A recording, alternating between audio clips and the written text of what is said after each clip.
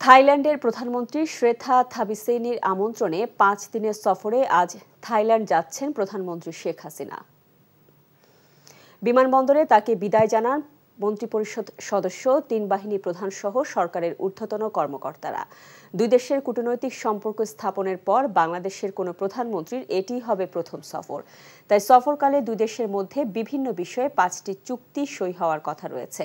পররাষ্ট্র মন্ত্রণালয়ের একাধিক জ্যেষ্ঠ কর্মকর্তারা জানান, শুক্রবার ব্যাংককের গভর্নমেন্ট হাউসে থাইল্যান্ডের প্রধানমন্ত্রী শ্রেথা থাবিসিনির সঙ্গে শীর্ষ বৈঠকের পর দুই দেশের মধ্যে জ্বালানি সহযোগিতা পর্যটন খাতে, শুল্ক সংক্রান্ত পারস্পরিক সহযোগিতা বিষয়ক সমঝোতা স্মারক, সরকারি পাসপোর্টধারীদের ভিসা অব্যাহতি চুক্তি ও মুক্ত বাণিজ্য সংক্রান্ত সম্মতিপত্র সইয়ের কথা রয়েছে। থাইল্যান্ডের প্রধানমন্ত্রী শ্রেথা থাবিসিনির আমন্ত্রণে সফরে যাচ্ছেন প্রধানমন্ত্রী।